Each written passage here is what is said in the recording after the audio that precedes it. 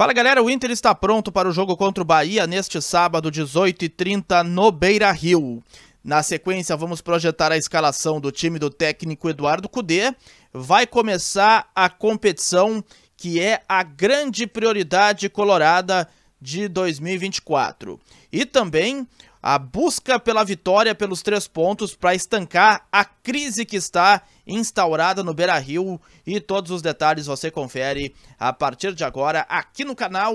Muito importante você chegar aqui, se inscrever, ativar as notificações, dar aquele like, joinha bacana para o conteúdo subir, subir e viralizar cada vez mais aqui no YouTube. Muito importante que você faça isso, até para a gente atingir aqui um maior número de pessoas, tá certo? Bom, Eduardo Cudê definiu a equipe colorada nesta tarde em treinamento com portões eh, fechados no CT Parque Gigante. A imprensa não teve acesso a nenhuma parte da movimentação.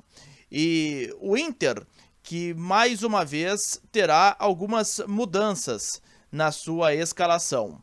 Vale ressaltar que Alan Patrick tem uma lesão muscular na coxa esquerda e vai ficar aproximadamente 30 dias afastado dos gramados. Enervalência segue em recuperação de uma lesão no pé direito e também em aproximadamente três semanas vai voltar a ficar à disposição. E são desfalques importantes, até porque são duas referências técnicas do time do Internacional.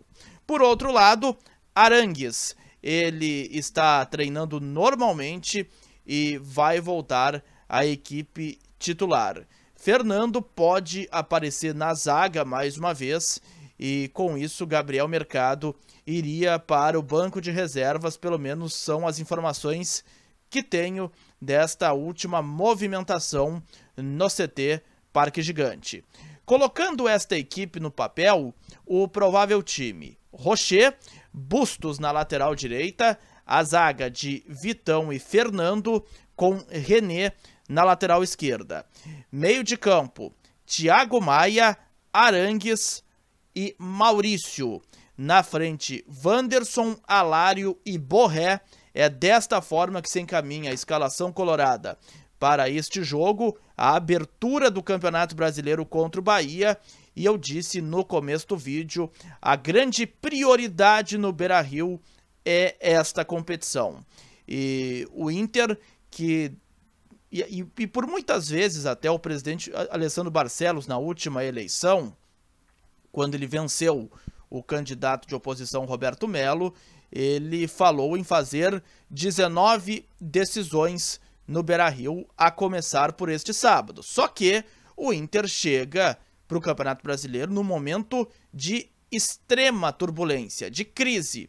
Não vence há quatro partidas e nessas quatro partidas teve a eliminação no gauchão para o Juventude em pleno Beira-Rio e a largada na Copa Sul-Americana que não foi nada, nada boa. Teve protesto eh, de torcedores após a partida eh, diante do Real Tomaiapo. Eu estive lá acompanhando pela Rádio Guaíba, estava na cobertura eh, da partida e também após o jogo, líderes de torcidas organizadas encontraram os dirigentes. E sobre isso, a revista Colorada trouxe uma informação importante nesta sexta-feira à tarde, que a reunião das lideranças das torcidas com os jogadores do Inter e a, a, reunião, a reunião das lideranças de torcidas e os jogadores do Inter, ela não ocorreu nesta sexta-feira por conta do pouco tempo de jogo, o pouco tempo de preparação para o jogo contra o Bahia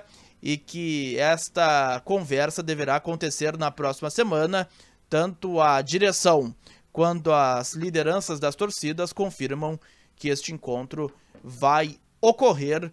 Então, o Inter que também busca essa vitória para acalmar um pouco esse ambiente que, repito, é de muita turbulência e o técnico Eduardo Cudê também, ele vem sendo bastante cobrado pela direção, pela retomada imediata do bom futebol. E é claro que além do bom futebol, as vitórias precisam aparecer Lembrando, a sequência do Inter nas três primeiras rodadas do Campeonato Brasileiro. O Bahia neste sábado no Beira-Rio, na próxima quarta o Palmeiras na Arena Barueri e no próximo final de semana o Atlético Paranaense na Arena da Baixada em Curitiba, tá certo? Gostou do vídeo? Dá aquele like, aquele joinha bacana, não te esquece, dupla Grenal é aqui.